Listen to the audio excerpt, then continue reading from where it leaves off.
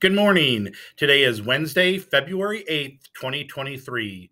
Please join me and stand for the Pledge of Allegiance.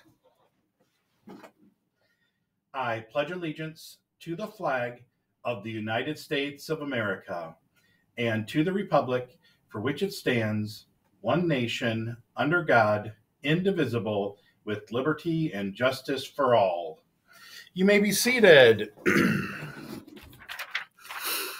Happy birthday today to Ariana Lopez and my friend Madison Peterson. Hope you have a great birthday today.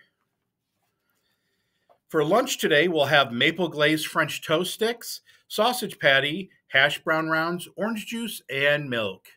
For breakfast tomorrow, we'll have mini cine, apple slices, raisins, and milk. Catching up on some golden spatula winners, on Friday, the fourth and fifth grade class winner was Mrs. Medler's class. On Monday, the sixth, the K1 winner was Mrs. Olson's class. The second and third grade winner was Miss Drolley's class. And the fourth and fifth grade winner was Mrs. Burke's class.